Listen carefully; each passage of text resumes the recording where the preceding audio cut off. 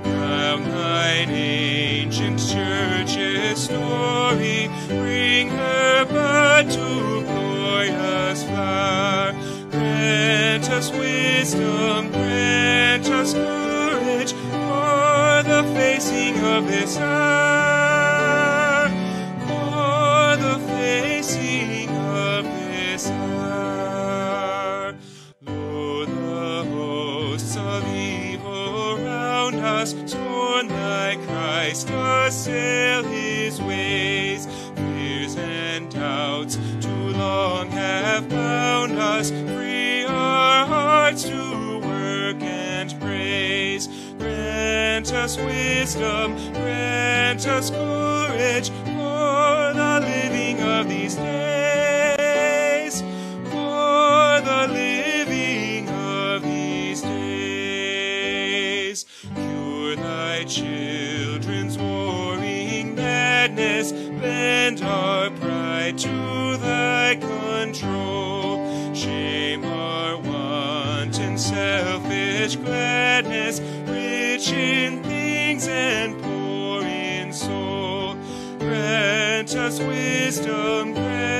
us courage, lest we miss thy kingdom's goal.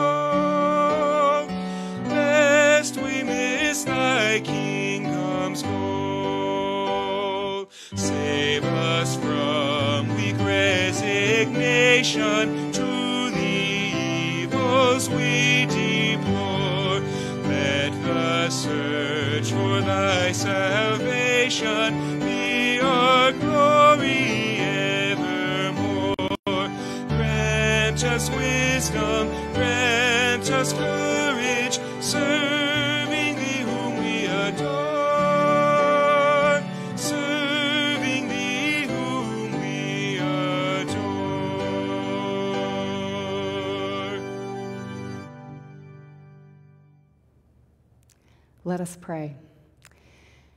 God of grace, God of glory, we are grateful for this day that you have made. We are grateful for this opportunity we have to spend time with you during this hour of worship. Pour out your power upon us now. Give us wisdom.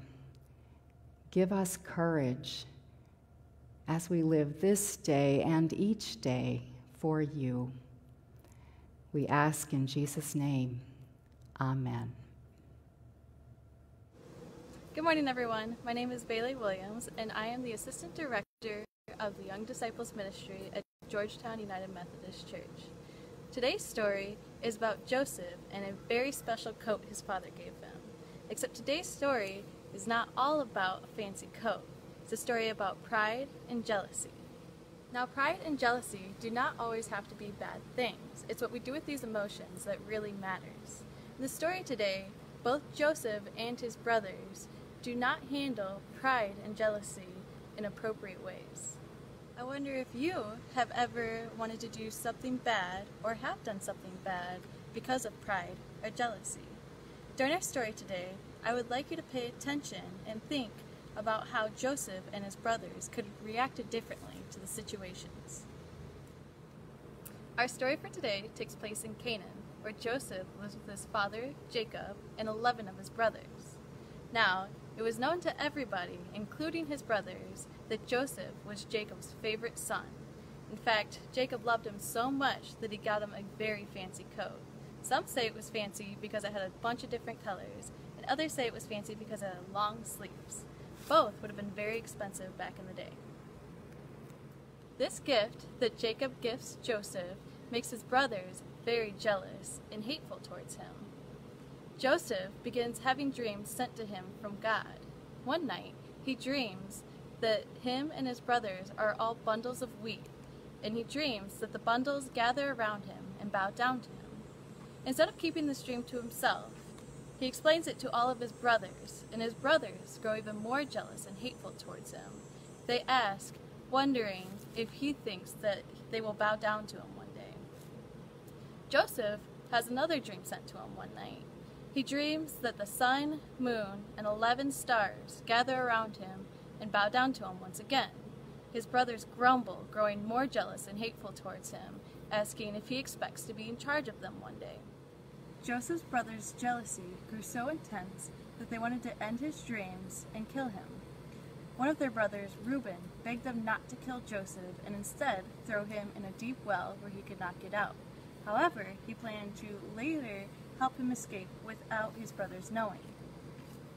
They all agreed and threw Joseph into the well, stripping him of his fancy coat. As they waited outside the well, Ishmaelite traders passed by and they hatched a new plan. They were going to trade Joseph for 20 silver pieces. The traders agreed to this deal and bought Joseph for 20 silver pieces to be a slave in Egypt. Now the brothers, not wanting to tell their father of the horrible thing that they've done, tricked him by dipping Joseph's fancy coat into goat's blood. Their father was immediately tricked and thought that Joseph was killed by a wild animal. He began to mourn, not knowing that Joseph was alive in Egypt. The characters in our story today made bad decisions out of pride and jealousy. Joseph knew that he was his father's favorite child and that he was special to God. and instead of being humble about it, he boasted to both his father and brothers, which made them grow jealous and hateful. I wonder what Joseph could have done differently. Maybe he could have expressed to his father that he didn't like the way that he treated him differently because it made his brothers jealous and hateful towards him. Maybe he could have been more helpful towards his brothers and explained his situation and dreams better to them. I wonder how Joseph's brothers could have responded differently as well. They made a bad decision out of jealousy. Maybe they could have told Joseph about the way they were feeling instead and explained that they weren't being treated fairly. I wonder if you have ever wanted to or have done something bad out of jealousy. You should know that everybody gets jealous, including myself. However, it's never okay to hurt others out of jealousy. I wonder what else you could do instead of doing something bad if you're jealous. For me, I like to meditate, exercise, or pray when I get jealous. This helps clear my mind and help me respond differently to a situation that I could respond poorly to. I wonder what you like to do. Don't let jealousy lead you to make bad decisions like Joseph's brothers did.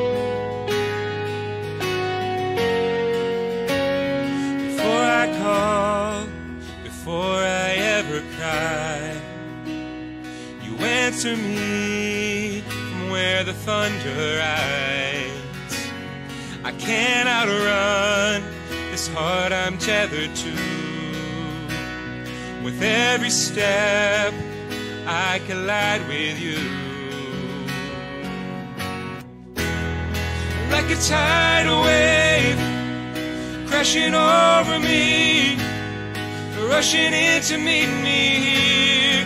Your love is fierce, like a hurricane that I can't escape, tearing through the atmosphere.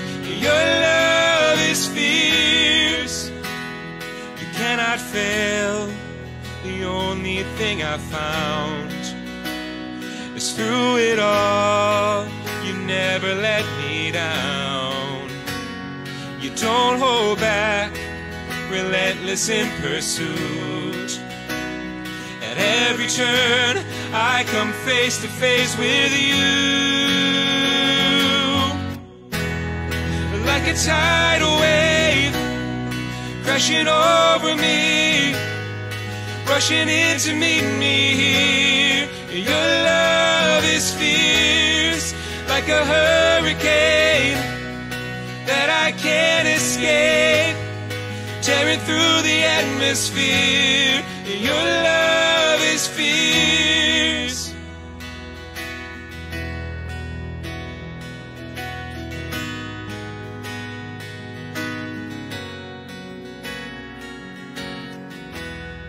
You chase me down, you seek me out.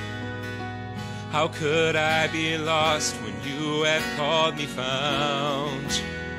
You chase me down, you seek me out. How could I be lost when you have called me found? You chase me down, you seek me out. How could I be lost when you have called me found? You chase me down, you seek me out. How could I be lost when you have called me found?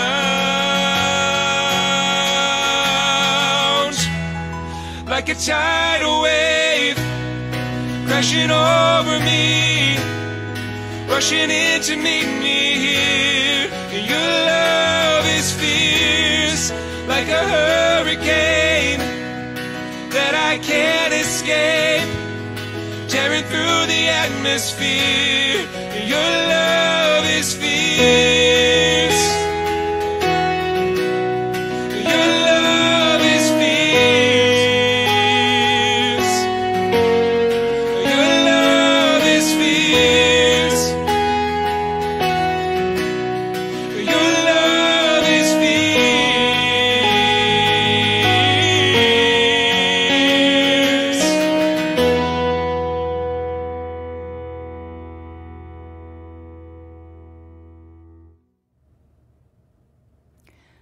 Scripture reading for today comes from the Old Testament book of Genesis, chapter 37, verses 1 through 14a and 18 through 35.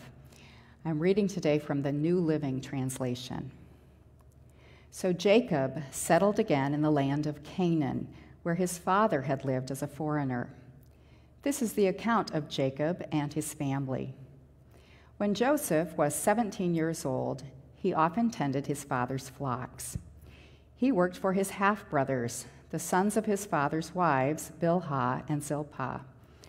But Joseph reported to his father some of the bad things his brothers were doing. Jacob loved Joseph more than any of his other children because Joseph had been born to him in his old age. So one day, Jacob had a special gift made for Joseph a beautiful robe. But his brothers hated Joseph because their father loved him more than the rest of them. They couldn't say a kind word to him. One night, Joseph had a dream, and when he told his brothers about it, they hated him more than ever. Listen to this dream, he said. We were out in the field tying up bundles of grain. Suddenly, my bundle stood up, and your bundles all gathered around and bowed low before mine. His brothers responded, So you think you will be our king, do you? Do you actually think you will reign over us? And they hated him all the more because of his dreams and the way he talked about them. Soon Joseph had another dream, and again he told his brothers about it. Listen, I've had another dream, he said. The sun, moon, and 11 stars bowed low before me. This time he told the dream to his father as well as to his brothers. But his father scolded him. What kind of dream is that? he asked. Will your mother and I and your brothers actually come and bow to the ground before you? But while his brothers were jealous of Joseph, his father wondered what the dreams meant. Soon after this, Joseph's brothers went to pasture their father's flocks at Shechem. When they had been gone for some time, Jacob said to Joseph, Your brothers are pasturing the sheep at Shechem. Get ready, and I will send you to them. I'm ready to go, Joseph replied. Go and see how your brothers and the flocks are getting along, Jacob said. Then come back and bring me a report. So Jacob sent him on his way. When Joseph's brothers saw him coming, they recognized him in the distance. As he approached, they made plans to kill him. Here comes the dreamer, they said. Come on, let's kill him and throw him into one of these cisterns. We can tell our father a wild animal has eaten him. Then we'll see what becomes of his dreams. But when Reuben heard of their scheme, he came to Joseph's rescue. Let's not kill him, he said. Why should we shed any blood? Let's just throw him into this empty cistern here in the wilderness. Then he'll die without our laying a hand on him. Reuben was secretly planning to rescue Joseph and return him to his father. So when Joseph arrived, his brothers ripped off the beautiful robe he was wearing. Then they grabbed him and threw him into the cistern. Now, the cistern was empty, there was no water in it. Then, just as they were sitting down to eat, they looked up and saw a caravan of camels in the distance coming toward them. It was a group of Ishmaelite traders taking a load of gum, balm, and aromatic resin from Gilead down to Egypt. Judah said to his brothers, What will we gain by killing our brother? His blood would just give us a guilty conscience. Instead of hurting him, let's sell him to those Ishmaelite traders. After all, he is our brother, our own flesh and blood. And his brothers agreed. So when the Ishmaelites, who were Midianite traders, came by, Joseph's brothers pulled him out of the cistern and sold him to them for 20 pieces of silver. And the traders took him to Egypt. Sometime later, Reuben returned to get Joseph out of the cistern. When he discovered that Joseph was missing, he tore his clothes in grief. Then he went back to his brothers and lamented, The boy is gone. What will I do now? Then the brothers killed a young goat and dipped Joseph's robe in its blood. They sent the beautiful robe to their father with this message Look at what we found. Doesn't this robe belong to your son? Their father recognized it immediately. Yes, he said, it is my son's robe. A wild animal must have eaten him. Joseph has clearly been torn to pieces. Then Jacob tore his clothes and dressed himself in burlap. He mourned deeply for his son for a long time. His family all tried to comfort him, but he refused to be comforted. I will go to my grave mourning for my son, he would say, and then he would weep. The word of God for the people of God. Thanks be to God. Let us pray. Oh God, teach us today from your word that we may better understand your grace in our lives. Amen. DACA has been in the news this summer. First in June, when the Supreme Court blocked an effort to end the program, and then again this past week due to some pushback from the administration. DACA stands for Deferred Action for Childhood Arrivals. The program protects young, undocumented immigrants who arrived in this country as children from deportation.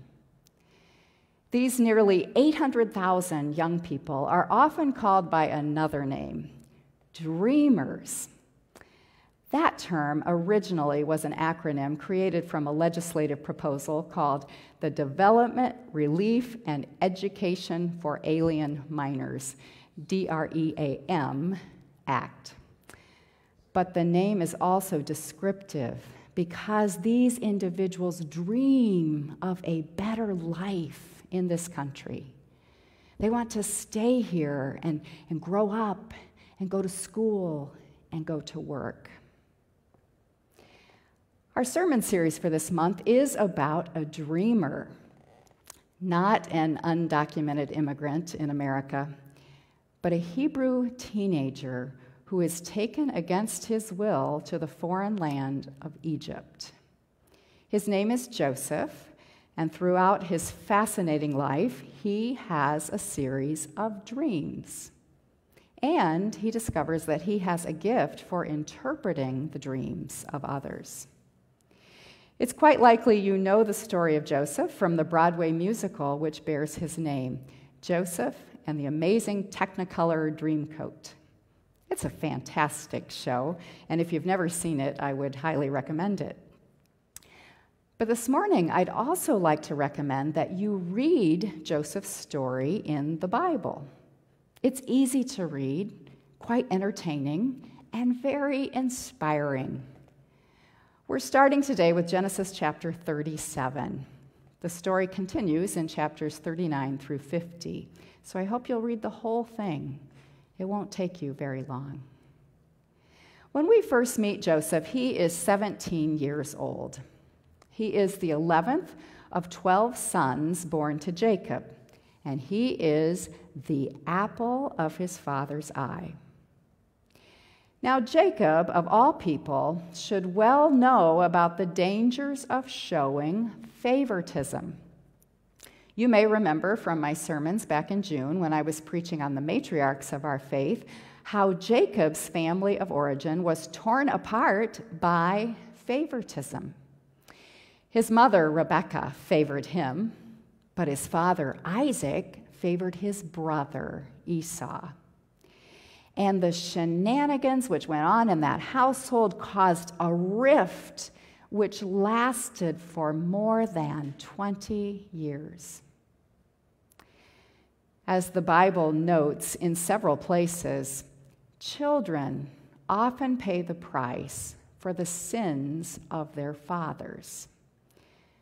That is, there are consequences for the mistakes people make, And sometimes bad behaviors are passed on from one generation to another.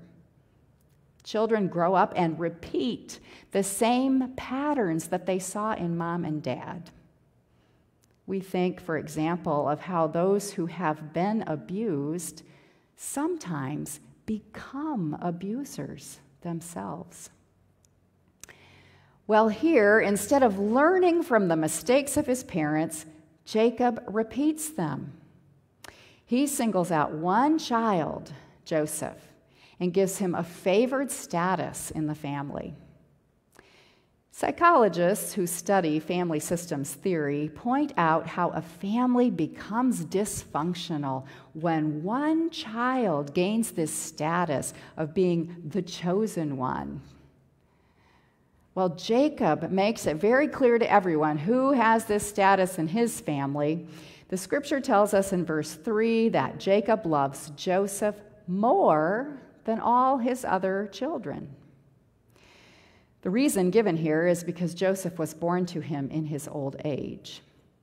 And maybe being around the young child Joseph did give special joy to the old man, Jacob. But quite possibly, this favoritism also has a lot to do with the fact that Joseph was the son of Jacob's favorite wife, Rachel. Yes, Jacob had children with four different women. It kind of sounds like a soap opera, but it was not uncommon at that time. Rachel was the beauty who captured his heart and soul. And her children, Joseph and Benjamin, filled a big hole in Jacob's heart after she passed away in childbirth. In our reading for today, Jacob gives his favorite son a special gift a long, beautiful, colorful robe. The Hebrew words used here are not actually clear to us, but they probably describe the style and length of this robe. Meaning, as Bailey said earlier, that it had long sleeves and went down all the way to Joseph's ankles. This was the type of robe worn by royalty. It symbolized a person's position of authority. Now, the robe also may have been made out of fabric of several different colors. This is what it says in the Septuagint Bible, which is the Greek translation of the Hebrew dating back to the third century BC. This is why, when many of us learned this story in Sunday school, we were probably told that it was a coat of many colors. At any rate, these are some special duds that have been showered on Joseph by his doting father, Jacob. Quite possibly, the gift of this robe was a signal that Jacob intended to designate Joseph as his heir. At any rate, when Joseph puts on this garment, it certainly makes him stand out in the crowd. And seeing him sport this attire causes his brothers to burn with jealousy and resentment. Then, on top of this, it doesn't help that Joseph starts having these dreams. Dreams in which he is always in the starring role, and his brothers are circling around him and bowing down before him. Now, Joseph isn't making up these dreams, he really does have them, and later in the month, we'll see how these dreams come to fruition. But still, Joseph could have chosen to keep the dreams to himself. Or at least he could have exhibited a little more tact in how he chooses to speak about them. Instead, we get the sense that he kind of relishes shooting off his mouth bragging to his brothers and agitating them with his notions of grandiosity. He seems a bit spoiled and full of himself. He even runs to tattle to his father whenever he sees his brothers doing something wrong. One would think that Jacob may have noticed the bad blood brewing between his sons but instead he seems rather oblivious. And so he sends his younger son Joseph to go check on the older boys who are out tending the sheep. They see him coming, and a plot begins to take shape. Let's get rid of this smart aleck once and for all, they think. Their hearts are filled with anger and murderous thoughts. Yes, they literally discuss killing him right then and there.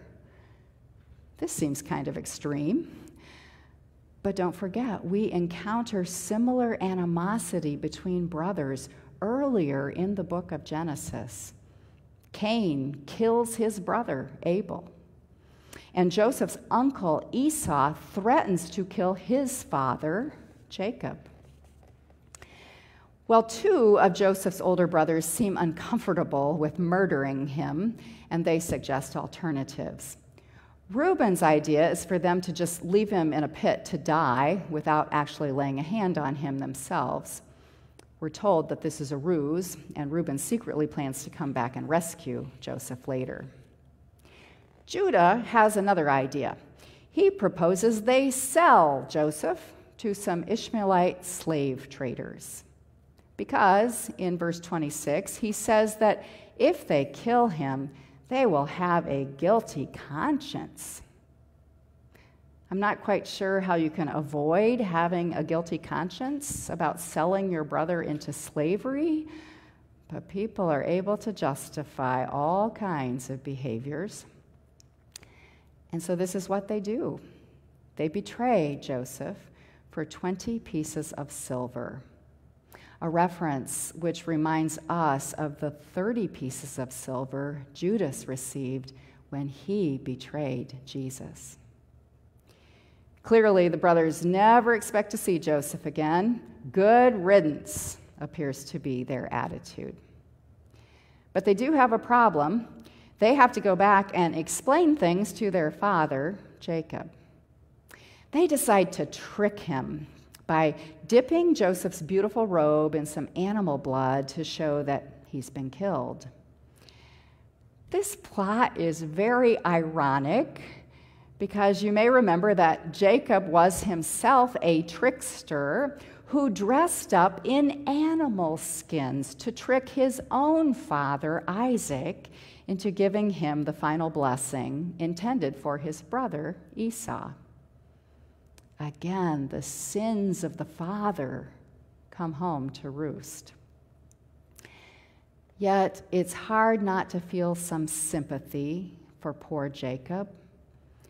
At hearing this news about the death of his son, he is absolutely devastated, completely broken-hearted. He weeps inconsolably and proclaims that he will mourn for the rest of his life. This whole family is completely broken. Their lives are shattered. What can we learn from their story? Well, many of us come from broken families. Often that phrase is used with regard to divorce, but families can be broken in many other ways. Some, like Joseph's, are broken by jealousy and anger and bitterness. This past week, I read an obituary for Olivia de Havilland, the actress who played Melanie Wilkes in the classic movie Gone with the Wind. She died at the age of 104. I was struck by a little note about the relationship she had with her sister, another actress named Joan Fontaine. Apparently, the competition between these two was fierce. According to some accounts, their sibling rivalry was rooted in the favoritism their mother showed toward her older daughter, Olivia. In 1941, the two sisters were both nominated for the Academy Award for Best Actress. Joan took home the Oscar that year. Supposedly, after that, they rarely spoke to one another. That's sad, isn't it? But you know, it's not particularly uncommon. In the course of my ministry, I have officiated at several weddings and several funerals where family members were estranged. Siblings would not talk to one another. Sometimes they weren't even invited to attend. There's a lot of brokenness in our world today, and much of it stems from the brokenness we experience in our families. Those hurts can go so deep, and the wounds can stay with us for a very long time.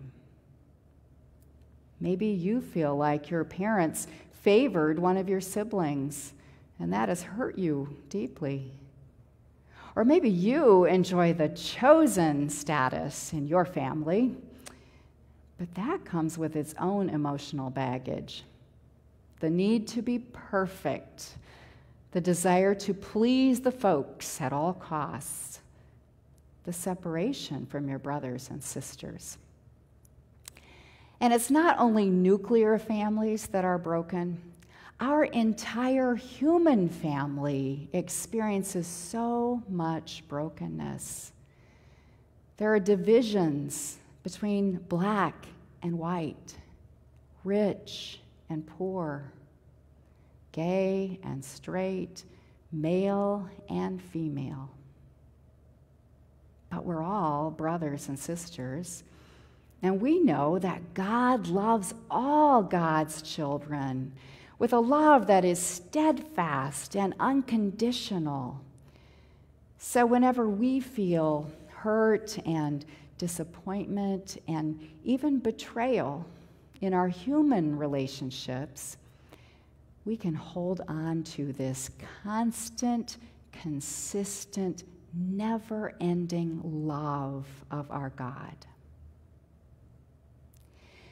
Today, we will receive a symbol of that love as we receive communion. At the Lord's table, we witness brokenness, bread broken for us, Jesus' body broken for the whole world. And yet, it is through this brokenness that we receive mercy and grace and healing. In the song Anthem, composer Leonard Cohen writes these words Ring the bells that still can ring. Forget your perfect offering. There's a crack in everything. That's how the light gets in. End quote. Friends, all of us are flawed. Our offerings are not perfect. We all experience struggles. We are all broken in some way. And some of the cracks in our lives are very painful. Yet God doesn't give up on us. God meets us in our wounded places. God shines light into our dark places. God restores relationships that have been shattered. God takes our worst days and promises better days. This first chapter of Joseph's story does not bode well for him.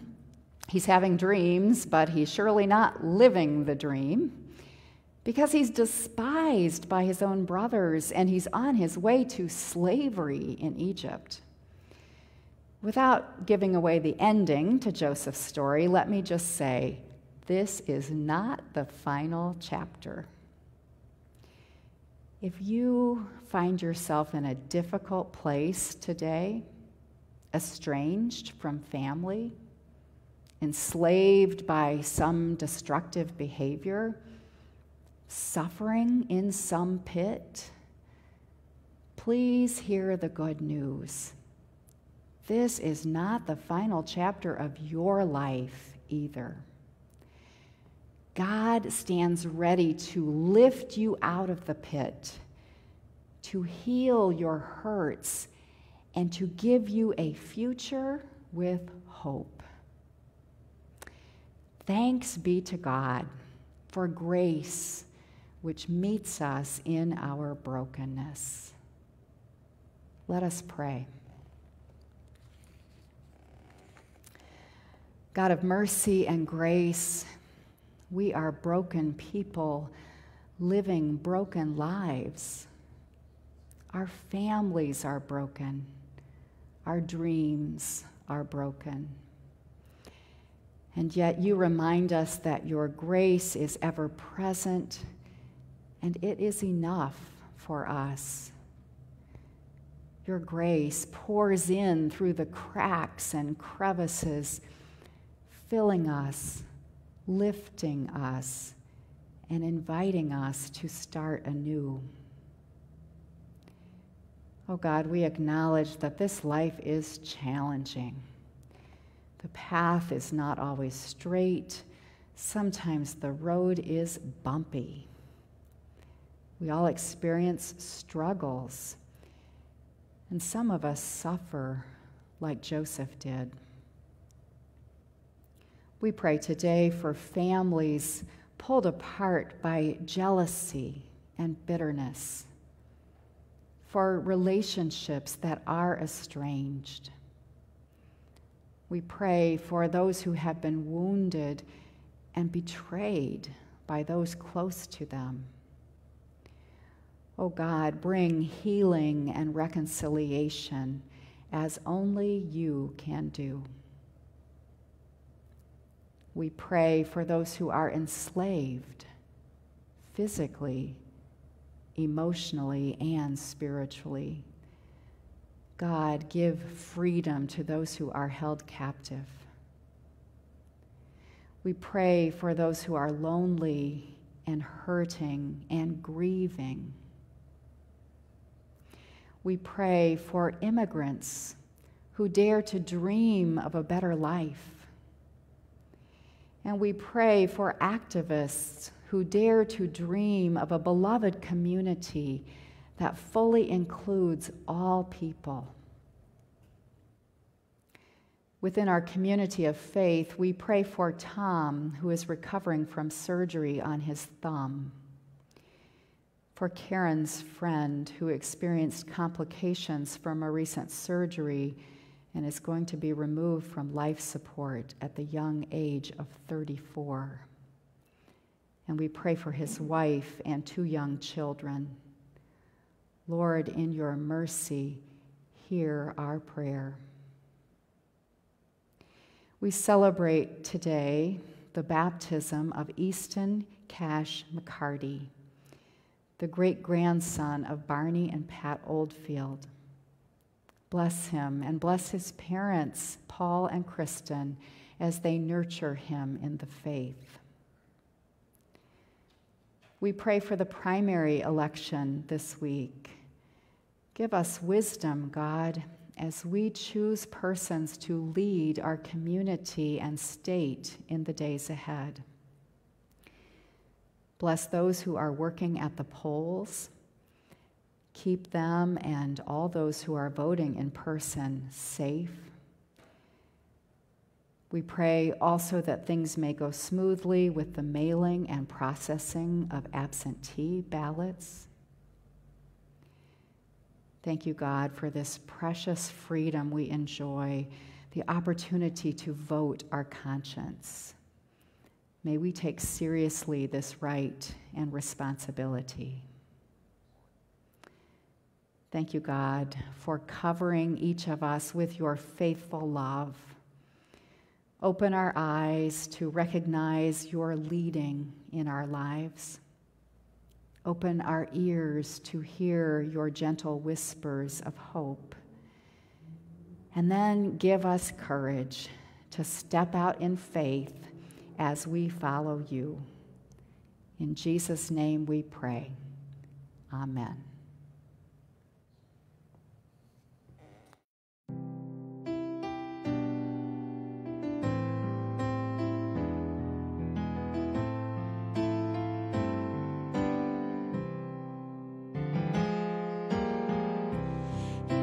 Here is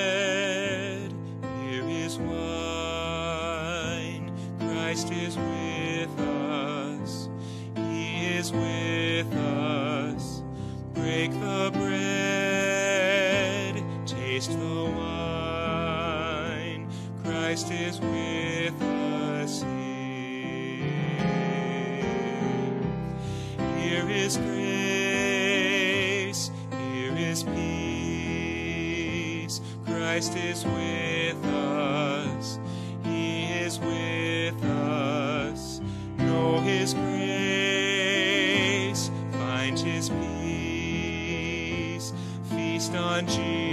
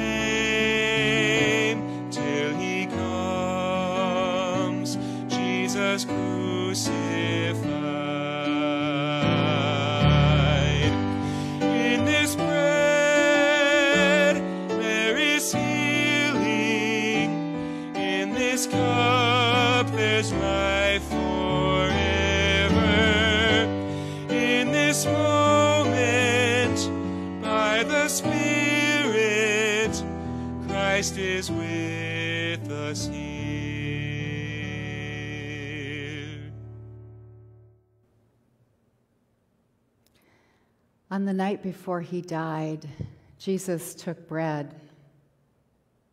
He gave thanks to God, broke the bread,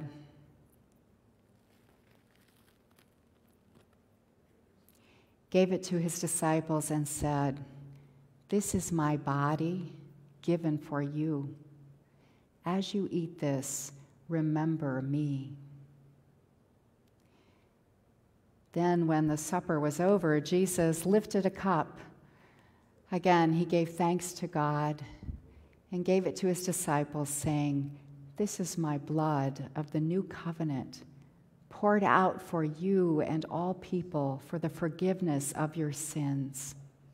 As you drink this, remember me. Let us pray. Almighty God, we come to your table broken, in need of your great mercy. There are so many cracks in our lives. Remind us that this is where your light gets in. Thank you for your presence with us. Thank you for your generous grace. Pour out now your Holy Spirit on us and on these gifts, the grain of the field and the fruit of the vine.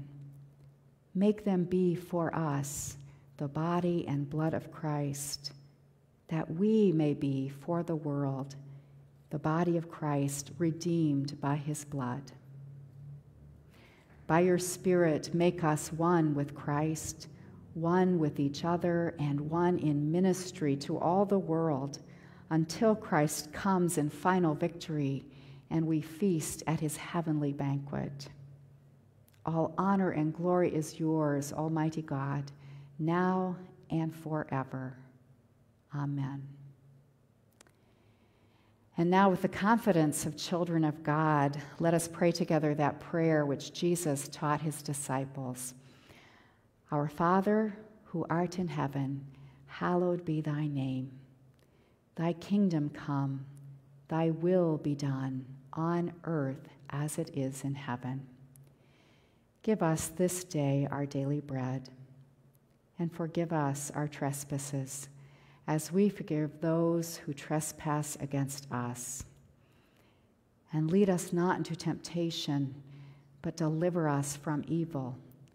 For thine is the kingdom and the power and the glory forever. Amen. Christ is with us in this holy meal. In this bread, there is healing. I invite you to break off a piece of your bread now and feast on God's love.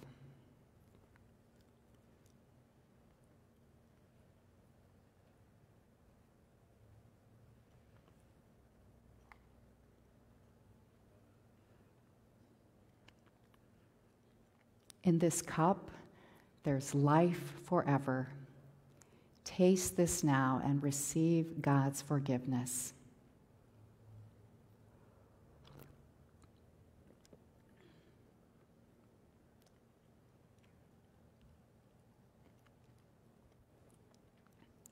Let us pray.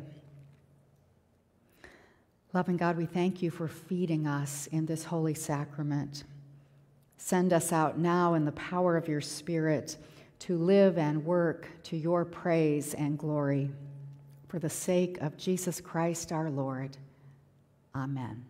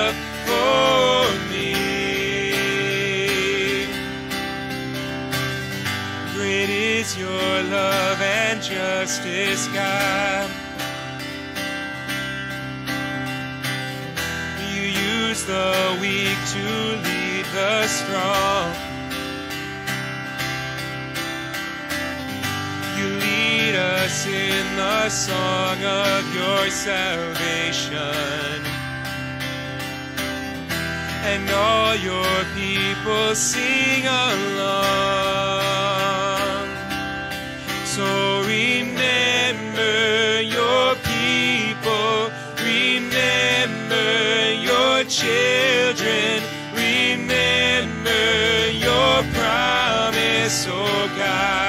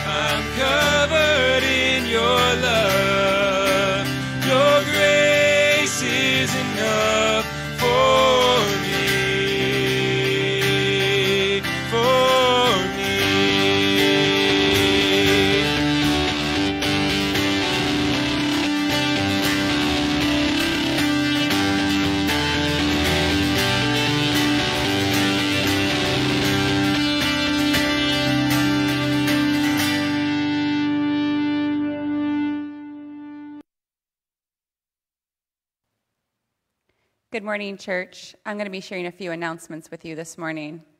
If you are new to worshiping with us online, we would like to get to know you better and keep you up to date with all that is happening at GUM.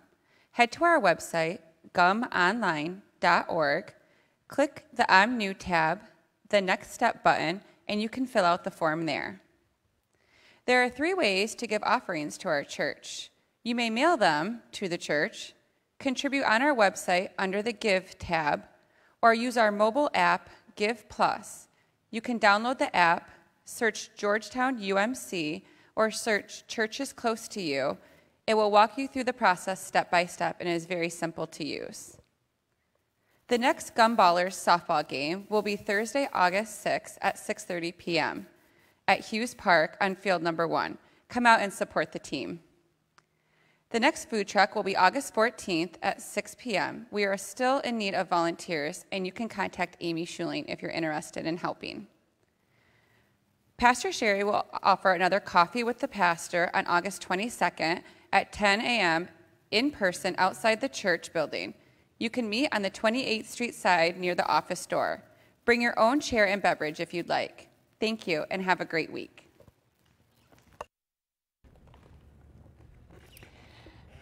Friends, we've been nourished at the Lord's table, and we've experienced God's bountiful grace in our brokenness. So go now into this day with gratitude and praise, and may the Lord bless you with peace. Amen.